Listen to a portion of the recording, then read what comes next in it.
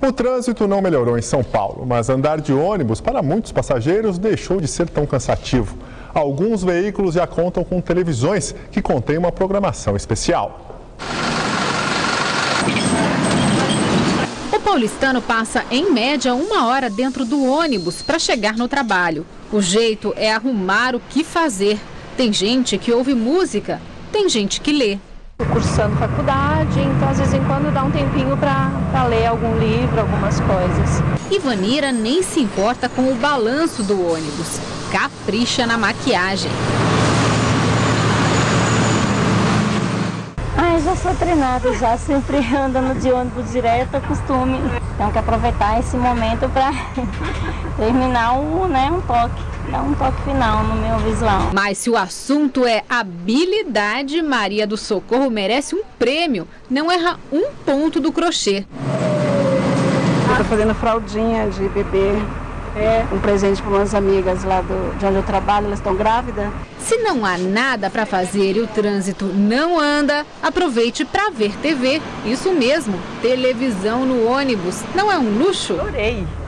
É, imagina, maravilhoso é uma companhia pra gente. É muito bom, a viagem fica mais rápida.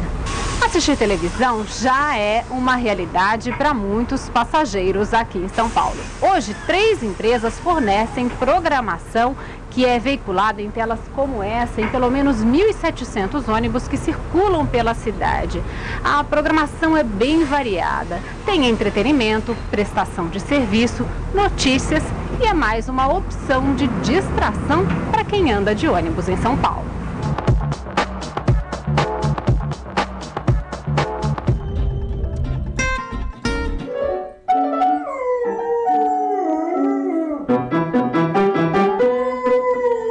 A Bus TV está em 450 ônibus. A programação é bem variada. Eu trabalho no pronto-socorro, então eu me distraio, acho graça, das dicas, piadas, gosto de tudo. Então acabo relaxando, de verdade. Ah, distrai, né? Sempre tem coisas bacanas.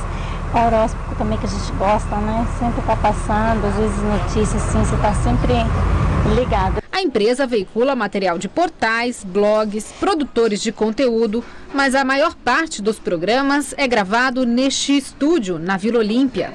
O nadador Michael Phelps já viveu dias mais gloriosos. Tudo que a gente faz tem o objetivo de tornar esse período que o telespectador está dentro do ônibus em um momento útil. Então a gente trabalha muito com informação, com prestação de serviço, também coloca alguma coisa de entretenimento, de cultura. A programação muda todo dia e é preciso ter um cuidado com o formato. Aqui em São Paulo, a prefeitura não autoriza que as TVs tenham som.